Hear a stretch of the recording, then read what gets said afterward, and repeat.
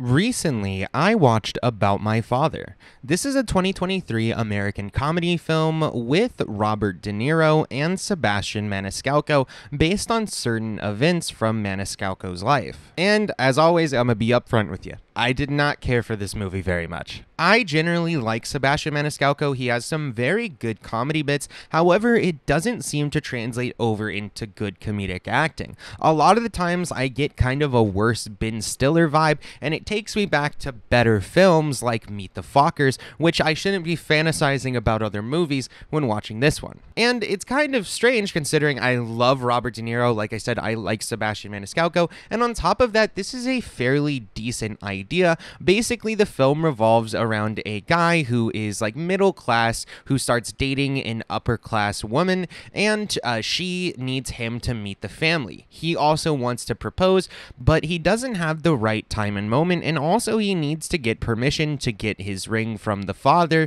to propose with. And when his girlfriend invites him to a getaway with her family, he sees that as a great opportunity. However, because it is a very important holiday to his father, the 4th of July, she actually ends up inviting the father so that way he doesn't feel left out. After a little bit of negotiating with the father and telling him to be on his best behavior, they proceed to go to the, you know, family getaway, and everything goes as terribly as you can imagine. Now, I will say, by the time that the end of the movie rolls around, I was actually pretty much on board. The final act is probably the funniest and most in- interesting parts, as well as has actually decent character growth. There's a couple really lovely moments between Maniscalco and De Niro that felt very, very genuine to a whole other degree because I've had moments myself talking with my father uh, and having like similar kind of emotional breakdowns in conversation as well. On top of that, De Niro does some like super fucked up shit, which I won't spoil here,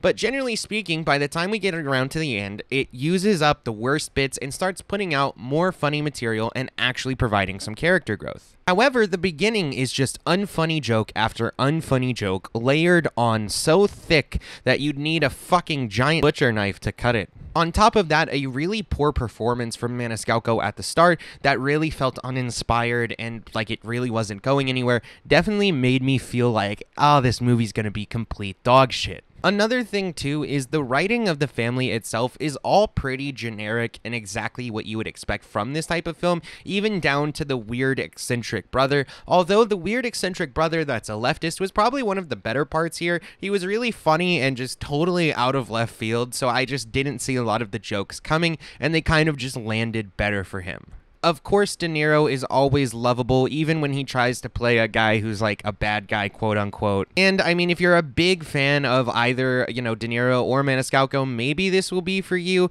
However, for the general audience, I feel like this will probably be more of a mid movie. I think most will find it maybe funny in some parts, but seriously lacking in others. My own personal score is somewhere between a 1.75 to a uh, 2 out of 4 stars. It's somewhere uh, below mid to exactly mid. And if the third act were like the entire thing and it was just through and through as funny as that act and had as good of character development and, you know, laying out the world that we're in, it would have been much better.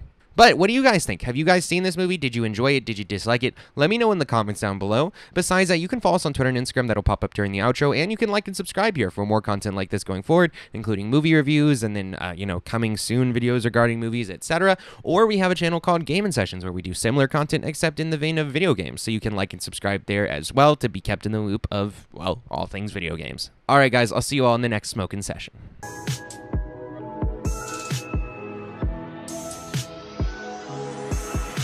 They out of my head to the depths of the universe. It's a spell or a chance just to open up a newer curve.